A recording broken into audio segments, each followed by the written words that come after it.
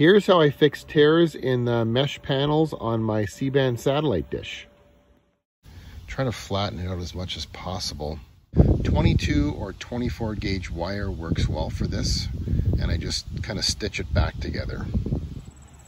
Loop the wire through itself a couple of times at the beginning and the end of the stitching to prevent it from coming apart. I usually dress up these repairs with some flat black spray paint just to make it look as original as possible and get it back to working order.